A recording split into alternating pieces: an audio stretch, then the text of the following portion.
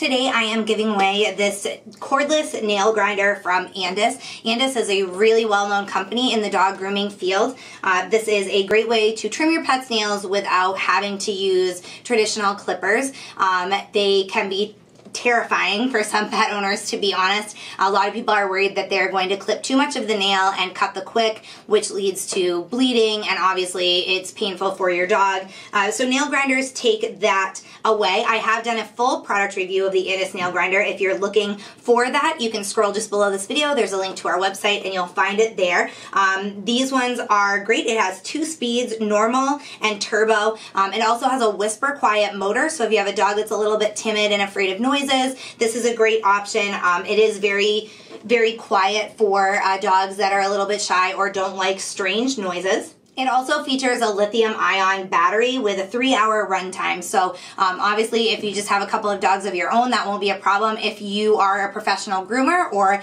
you take care of uh, multiple pets and their nails, maybe if you work in a shelter or something like that, um, this is gonna have a long life. It's very, very lightweight and uh, comfortable in your hand as well if you are using it for long periods of time. Um, so what you're gonna get here is the nail grinder, the charging adapter, you got a protective cap, um, a grinding wheel, and a finishing stone all come in here. Um, this is a $30 value and one lucky winner will get it. All you have to do to win is go to our Facebook page. At the very top of the page, you will see a post for this giveaway. Uh, first, you need to like our Top Dog Tips Facebook page. If you do not like our page, you are not eligible for the drawing and we do check that when we pull a winner to make sure that you like our page. So be sure to do that first and then you can find the post, like it, comment on it, or share it and that is uh, all you need to do to be entered into the drawing. I will, be back with the winner on May 1st so be sure to check Facebook. I notify the winner via Facebook. You do need to be a U.S. resident to win this giveaway um, but as long as you're a U.S. resident and you follow those simple steps